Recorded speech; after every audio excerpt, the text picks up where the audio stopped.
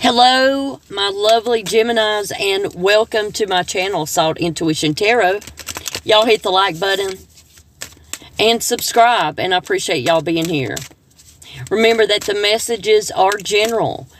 This may be a confirmation of what you've already been through, so just know that, or something that's going to happen in the future. Upon looking at the cards, it looks like that in order for you to feel secure in your life, and to get balance in your life, you had to let go of friendships or a love relationship. You had the devil card come up, which means Capricorn or just someone that was very toxic.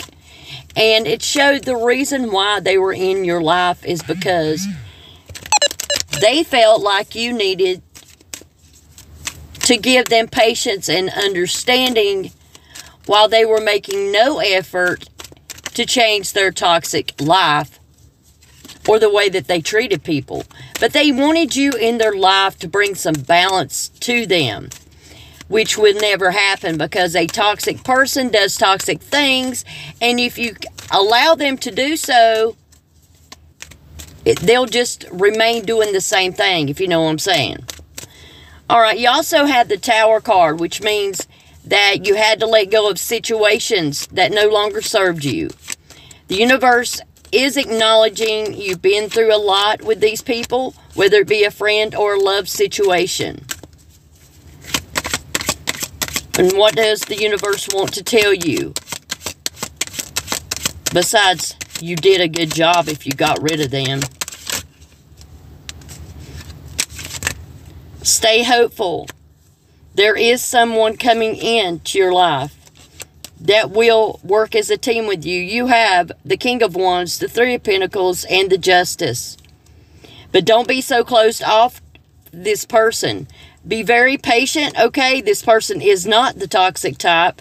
This could be a Sag or a Libra coming in. Now, I can tell you with the Libra person, they will be guarded, okay? They're not going to let anybody in their life really easily. And with the Sag, they may gossip. They may, uh, someone that talks about you, okay? I would say that the better suit is the Libra. So if you have a Libra coming in your life, also the star card's coming out in Aquarius. Aquarius person. You have three choices coming up for you. But as we all know, just because you have a lot of options doesn't mean that they are going to be good for you. You've got to learn the zodiacs, okay? Learn them very well because that will help you give get insight on what type of person that you're dealing with, okay? You don't want to get somebody that does not have the same as you know aspirations in life that you have. The star card definitely keeps coming out.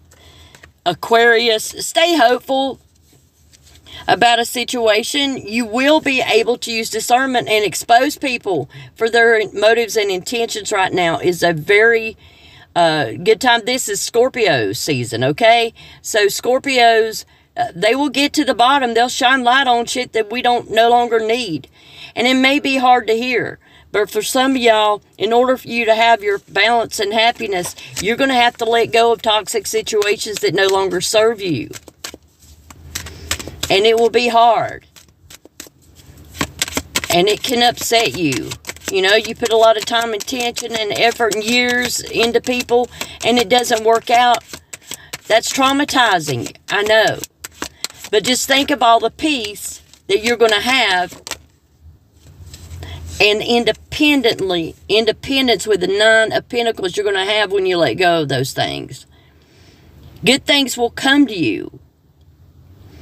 Uh, you know, when people see that you, you know, are on your feet, you're a stable person, you will attract toxic individuals. You just will.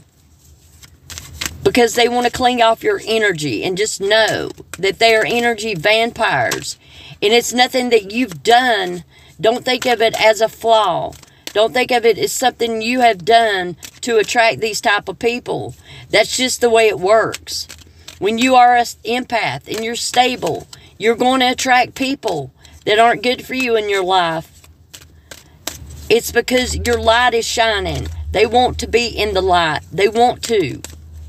But once they get there, does it mean enough for them to change? And that's a lot of questions on people's mind. If I bring light to their life, do they not want, if I'm attracting the darkness, will it not want the light? Just know that there are so many people out there that want to be in your presence, but they don't know how to maintain the position, if you know what I'm talking about. So never think it bad on yourself if you're attracting these people that aren't good for you. That's the way it goes. You're like a magnet. Okay? For some of y'all, you're very tired of this. You feel like you've been in a battle and you feel alone. And you're alone with your thoughts. But look, this is the break that you're going to need to get your strength back up.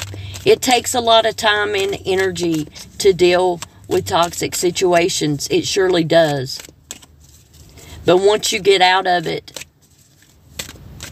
you know, you're going to have you're going to know who to trust, who to allow in your life, and you're going to be able to see the red flags.